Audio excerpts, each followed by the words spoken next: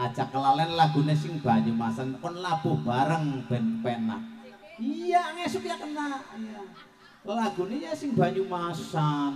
Kang Dasim embane renggong manis dadi napa mboten? Nggih, saged nggih, Mbak? Tolek-tolek. Oh nggih, saking bosek. Damelaken tolek mboten kon Tolek-tolek mawon nggih. Tolek-tolek nggih. Nggih. monggo dadi terangkan, gending pun toleh toleh Banyumas yuk.